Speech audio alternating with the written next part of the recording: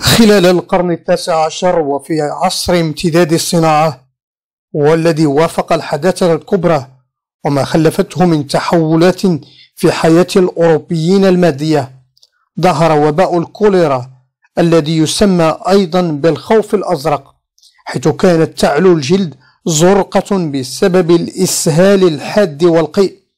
وقد عصفت الكوليرا بحياة مئات الآلاف من البشر في آسيا وأوروبا وشمال إفريقيا ليس فقط عامة الناس من العمال خاصة في أوروبا الذين عاشوا خلال القرن التاسع عشر ظروفا حياتية مزرية في المدن الصناعية نتيجة الاكتظاظ والسكن غير اللائق وقلة النظافة وغياب قنوات الصرف الصحي بل خاصة بل خاصة الناس أيضا.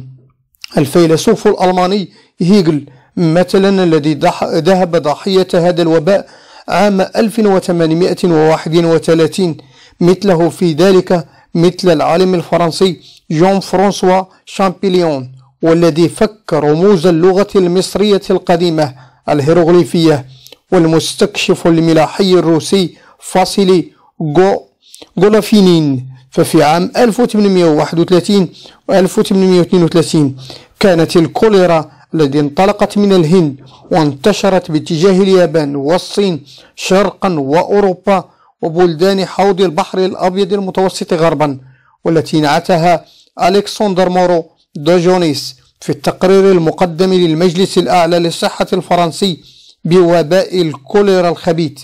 قد خدشت معالم هذه الحداثة وذكرت الجميع بأهوال الطاعون خلال القرون الوسطى. باريس وحدها في ربيع عام 1832 توفي بها 18402 شخص من أصل 785662 ألف نسمة. ومن أوروبا انتقل الوباء وباء كوليرا إلى المغرب عام 1834 بعد ثلاث سنوات.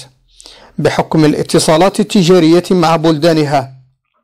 وقد انكب عدد من الباحثين المغاربة على دراسة هذا الوباء الذي تسبب في موت خلق كثير وجم غفير. في مقدمتهم المؤرخ المغربي محمد الأمين بزاز في كتابه تاريخ الأوبئة والمجاعات بالمغرب والذي أورد شهادة إخبارية تقول هو ريح ما سمعوا به قاتل من حينه ويسمون ويسمونه عندنا في المغرب بأسماء الكوليرا والريح الأصفر وبوبوغليب إذ أصاب الرجل تغير لونه وأصبح جفن عينيه ويجعله ويجعله يقيء من أعلى ويسهل من أسفله.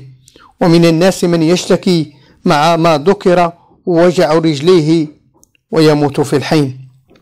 لكن ما يحتفظ به المؤرخ فيما وراء الشهادات والإحصائيات التي صارت موثوقة في هذا الوقت هو المآسي الاجتماعية الفظيعة التي أفرزها هذا الوباء من موت وترمل وتيتم والتي لم يستسلم لها المجتمع حيث أبان الناس عن قيم التضامن والتكافل التي وإن كانت تختلف باختلاف المجتمعات فإن قيمها الإنسانية كانت كونية. هذا ما أبانت عنه عمليات علاج المرضى ومساعدة الفقراء والأيتام. قبل ما تخرجوا ما تنسوش تابوناو في la chaîne YouTube وبارطاجيو الفيديو مع أصحابكم في مواقع التواصل الاجتماعي. وما تنسوش ديروا j'aime.